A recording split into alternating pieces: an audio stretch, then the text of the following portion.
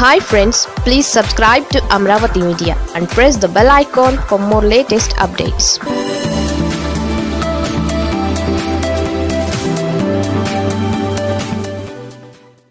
Chandrababu Pawan స్నేహానికి Modi mark check. Pawan Kalyan చంద్రబాబుల అప్రకటిత పొత్తును ప్రధానమంత్రి మోడీ భగ్నం చేశారు. ఆంధ్రప్రదేశ్ రాజకీయాలలో ఇదొక కొత్త పరిణామం. టీడీపీతో కలిసి ప్రయాణించాలనుకుంటున్న జనసేన పార్టీ ఆకాంక్ష నెరవేరేలా లేదు. చంద్రబాబు పట్ల బీజేపీ సానుకూల దృక్పథంతో లేదు. టీడీపీపై పగ ప్రతీకారాలతో బీజేపీ ఇంకా రగిలిపోతూనే ఉన్నట్లు పవన్ కళ్యాణ్ ప్రధాని మోడీ భేటీ అనంతరం వెలువడుతున్న సమాచారం ధృవీకరిస్తోంది. మోడీ ఏమో నెక్స్ట్ ఎలక్షన్లో మీరే మా సీఎం అభ్యర్థి. కష్టపడితే మనకు మంచి అవకాశాలు ఉన్నాయని అంటున్నారు. పవన్ ఏమో ఇప్పుడున్న పరిస్థితుల్లో జగన్ని ఎదుర్కోవాలి అంటే టీడీపీ మనము కలిసి పనిచేస్తే ప్రభుత్వ వ్యతిరేక ఓటు చీలిపోదు. జగన్ని గద్దె దింపొచ్చు అని అంటున్నాడు. మోడీ ఏమో నిజమే కానీ మీరు సీఎం కాలేరు కదా. పైగా చంద్రబాబు ఎలాంటి అవకాశవాదో? రెండు వేల పద్నాలుగు రెండు వేల పంతొమ్మిది మధ్య మనమే చూశాం కదా అని అన్నారు. పవన్ ఏమో అవును సార్ కానీ జగన్ అరాచకాలు చేస్తున్నాడు. ఈ గూండా ప్రభుత్వాన్ని దించేయాలని అంటున్నాడు. మోడీ ఏమో చంద్రబాబు పరిపాలన బాగుంటుందని మనం అనుకోలేం కదా అని అంటుంటే పవన్ ఏమో ప్రభుత్వ వ్యతిరేక ఓట్లు చీలితే జగన్కి లాభం కదా సార్ అని అంటున్నాడు. మోడీ ఏమో నెక్స్ట్ ఎలక్షన్లో ఎవరైనా అధికారంలోకి రాని ఆ తర్వాత నుంచి మనం ఈ రాష్ట్ర ప్రజలకు వైఎస్ఆర్సీపీ టీడీపీ కంటే బెస్ట్ ఆప్షన్ ఇవ్వాలి అంటే ఇప్పుడు కలిసి పోటీ చేసి నెక్స్ట్ యాక్టివ్గా ఉంటే భవిష్యత్ మనది. రాజకీయాలలో భవిష్యత్ గురించి తప్పక పట్టించుకోవాలి. ఇప్పటికిప్పుడు వచ్చేవి చూసుకుంటే భవిష్యత్తులో మనమే ఉండం. మీ ఇష్టం సార్ మా పార్టీ ముఖ్య నాయకులతో మాట్లాడి మీకు అప్డేట్ చేస్తామని అంటున్నాడు పవన్. సరే మంచిదని మోడీ అన్నారు. సంభాషణ ఇలాగే జరిగిందేమో తెలియదు కానీ సారాంశం అయితే అదే. బీజేపీ గేటు ముందు చంద్రబాబు చాలా కాలంగా పడిగాపులు పడుతున్నది నిజం. బీజేపీ నాయకత్వాన్ని ప్రసన్నం చేసుకోవడానికి టీడీపీ జాతీయ అధ్యక్షుడు చేయని ప్రయత్నం లేదు. పడని పాట్లు లేవు. ఎన్ని విన్యాసాలు చేసినా బీజేపీ మెత్తపడడం లేదు. ఇటు ఏపీలో జగన్ వ్యతిరేక ఓట్లు చెల్లకుండా చూస్తా అని జనసేన పార్టీ సారథి పవన్ కళ్యాణ్ భీష్మ ప్రతిజ్ఞ చేశారు. బీజేపీ రోడ్ మ్యాప్ కోసం ఎదురు చూస్తున్నా అని అంటూనే చంద్రబాబుతో కలిసి ప్రయాణించాలని పవన్ గట్టిగా అనుకుంటున్నారు. ఈ దిశగా కొంత ముందడుగు పడినట్లు కూడా విస్తృతంగా ప్రచారం సాగుతోంది. పొత్తులో భాగంగా నలభైకి పైగా అసెంబ్లీ స్థానాలు జనసేనాని కోరుతున్నారు. మేము ఇరవై రెండు నుంచి ఇరవై ఆరు కన్నా ఎక్కువగా సీట్లు ఇవ్వలేమని టీడీపీ నాయకులు స్పష్టం చేశారు. అనే ప్రచారం టీడీపీ శ్రేణుల్లో సాగుతోంది.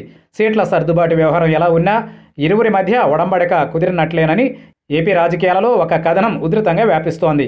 విశాఖ ఘటనలు మంగళగిరిలో జగన్పై పవన్ కళ్యాణ్ నిప్పులు కురిపించిన వైనం విజయవాడ నోవాటెల్ హోటల్లో చంద్రబాబు పవన్ భేటీ ఇద్దరూ కలిసి మీడియా సమావేశంలో పాల్గొనడం వంటి సన్నివేశాల తరువాత ఈ కథనం ఇంకా బలపడింది. అలాగే ఇటీవలి కాలంలో చంద్రబాబు ఎక్కడ పర్యటించినా జనసేన జెండాల రెపరెపలు కూడా కనిపిస్తున్నాయి. జనసేనను రెండు వేల పద్నాలుగు మార్చిలో పవన్ కళ్యాణ్ ప్రారంభించినప్పుడు ఆ పార్టీలో ఒక ఫైర్ కనిపించింది. సరైన సమయంలో పవన్ దిగాడని కూడా అంతా అన్నారు. నాడు ఉమ్మడి ఏపీ విభజనను ఎండగట్టిన ఒకే ఒక్కడుగా పవన్ను ఆంధ్రులు ఆశగా చూశారు. కానీ అంతటి పవన్ ఆవేశం సరైన వ్యూహం లేక చతికిల పడింది. రెండు వేల పద్నాలుగు ఎన్నికల వేళ కెరటంగా వచ్చిన పవన్లోని పవర్ మొత్తాన్ని గుంజుకుని నంచుకు తినది టీడీపీ బీజేపీలే. ఆ విధంగా గరిష్ట రాజకీయ లాభాన్ని వారు పొందితే పార్టీ పెట్టి పోటీ చేయకుండా మద్దతుదారుగా సైడ్ క్యారెక్టర్ పాత్రకు పరిమితం కావడం పవన్ చేసిన చారిత్రాత్మక తప్పు. రెండు వేల పద్నాలుగు ఎన్నికలలో జనసేన పోటీ చేస్తే పవన్ డిసైడింగ్ ఫ్యాక్టర్ అయ్యేవారేమో కానీ ఆయన అవకాశాన్ని వాడుకోలేదు. ఇక రెండు వేల పద్నాలుగు నుంచి రెండు వేల పంతొమ్మిది వరకు కూడా ఆయన రాజకీయం దశాదిశ లేకుండా సరైన వ్యూహాలే లేకుండా సాగిపోయింది. రెండు వేల పదిహేడు నాటికి ఆయన బీజేపీతో స్నేహాన్ని తెంచుకొని మంచి పని చేస్తారని ప్రత్యేక హోదా మీద నిగదీసిన మొనగాడుగా నిలిచారని జనం అనుకున్నారు.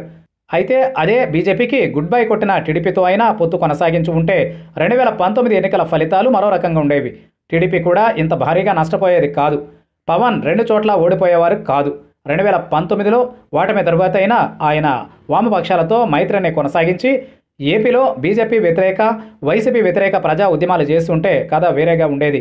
కానీ ఆయన ఆరు నెలలు తిరగకుండానే బీజేపీతో చేతులు గలిపారు అన్నీ మరచి కౌగలించుకున్నారు.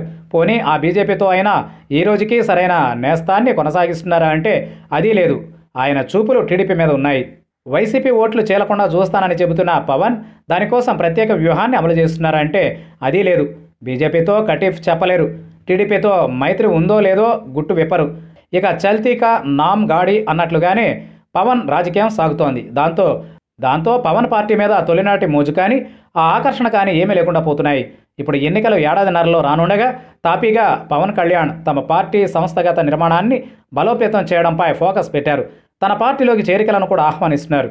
కానీ పవన్ వైఖరిని ఆయన వ్యూహాల లేమని చూసిన ఇతర పార్టీల్లోని సీనియర్లు దూరంగానే ఉంటున్నారు. పవన్ సీరియస్ రాజకీయాలు చేయడం లేదని ఇప్పటికే చాలామంది ఆ పార్టీ నుంచి బయటకు వచ్చేశారు. ఒకనాడు మేధావులు సీనియర్లు ఎంతోమంది కీలక నేతలు ఉన్న జనసేనలో ఇప్పుడు పెద్దగా చెప్పుకోదగిన నాయకులు ఎవరూ లేకపోవడానికి కారణం పవన్ తడబాటు అడుగులే. ఏపీలో రాజకీయ శూన్యత ఉన్నా దానిని భర్తీ చేయగలిగిన వ్యూహాలేమీ పవన్ దగ్గర లేవు. రెండు వేల ఇరవై నాలుగు ఎన్నికలు కూడా జనసేన పార్టీకి మరో బంగారు అవకాశం కల్పిస్తున్నాయి. ఏపీలో టీడీపీ వైసీపీలను చూసిన ప్రజలకు తాను ప్రత్యామ్నాయం అని గట్టిగా చెప్పి నిరూపించుకోవాల్సి ఉంది.